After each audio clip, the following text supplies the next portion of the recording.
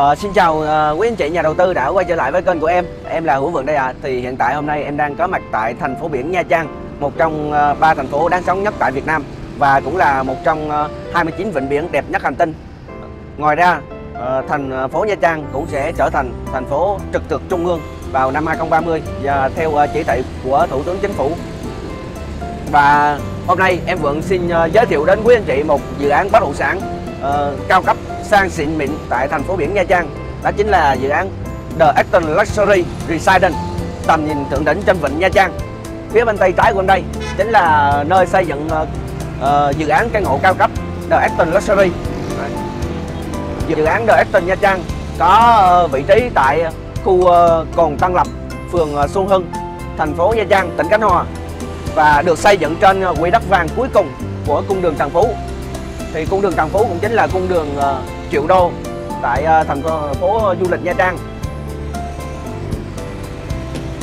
Với cái ờ, thiết kế độc đáo, luôn ờ, đón nắng đón gió tự nhiên và về pháp lý của dự án thì dự án được đã có đầy đủ các giấy tờ pháp lý như là quy hoạch 1 trên 500 chấp thuận chủ trương đầu tư và đã có giấy phép xây dựng. Và đặc biệt căn hộ ở đây là quý anh chị khi mua là sở hữu lâu dài nha quý anh chị về pháp lý an toàn như này thì quý anh chị có thể an tâm uh, đầu tư tại dự án ạ. À.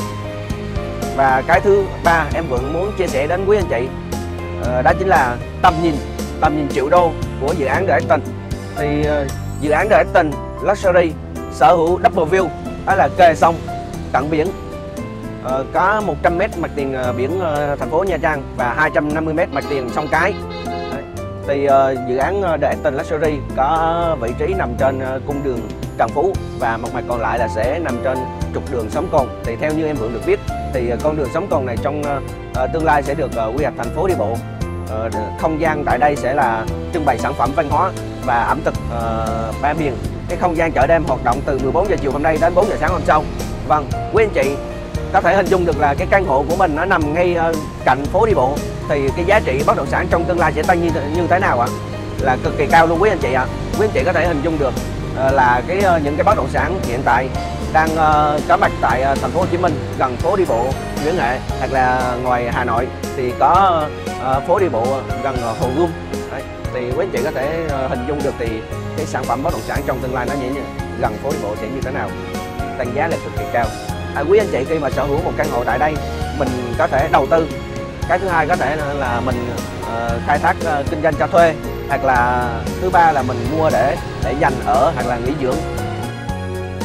Điều thứ tư em vừa muốn chia sẻ đến cho quý anh chị đó chính là tiện ích đặc quyền dành cho cư dân tại uh, dự án Garden Luxury. Còn có 1.800m phố đi bộ trên không uh, cực kỳ độc đáo. Thứ hai nữa là uh, có 6.000m vuông tiện ích đặc quyền dành cho cư dân tại uh, Luxury.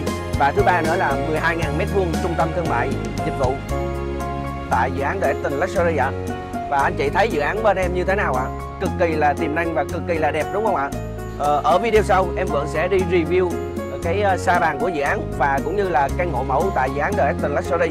Thì nếu anh chị nào quan tâm về căn hộ ờ, mẫu ờ, về dự án The Acton thì hãy ấn nút đăng ký để theo dõi những cái video sau ạ.